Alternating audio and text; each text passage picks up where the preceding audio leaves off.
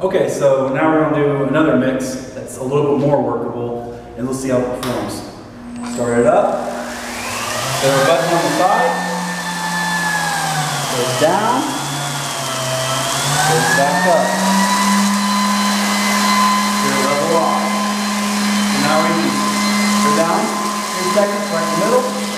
One, two, three. One, two, three.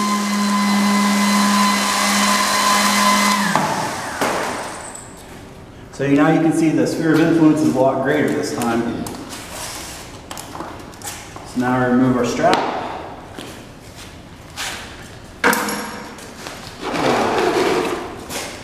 Edge.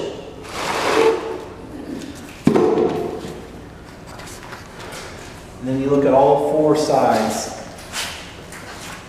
And you look at the honeycombing. You kind of decide where you're at with these different sides. So for here,